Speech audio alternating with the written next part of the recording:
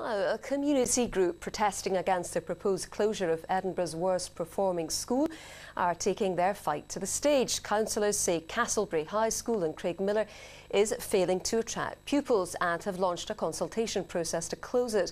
Locals argue it's a vital community resource. Here's Jennifer Harold.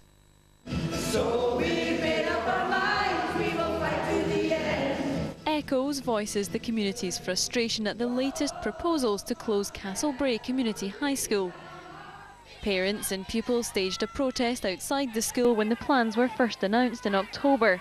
Taking their fight to the stage was a natural next step, according to those behind the production. If you read the history of Craigmillar, Helen Crummy and that, we've always used the arts. We've, we've used it for to stop motorways. We've, we've used it for, I mean, the arts is a massive piece of our culture in Ridgey and Craigmillar, so it's our voice. The cost per pupil at Castlebrae is over £10,000. That's more than double the normal cost here in Edinburgh.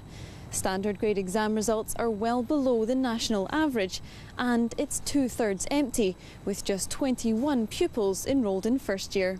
But the community groups say it's a vital resource used by local groups and providing classes for adult learners.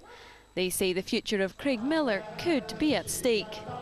Uh, it's not unrealistic to say that the, the regeneration could stop because anybody that's looking for a new house or coming to buy a new house is going to look at the amenities, they're going to look at the education opportunities and stuff like that. And if we've not got that here, people aren't going to be attracted to this area, they're going to look elsewhere. Edinburgh City Council says it has the best interests of pupils at heart. With extremely small numbers, it does uh, bring about real difficulties when children, pupils have to go forward with their course choices. Pupils will be denied the choices that their peers in other schools um, may be afforded, and I think that's wrong.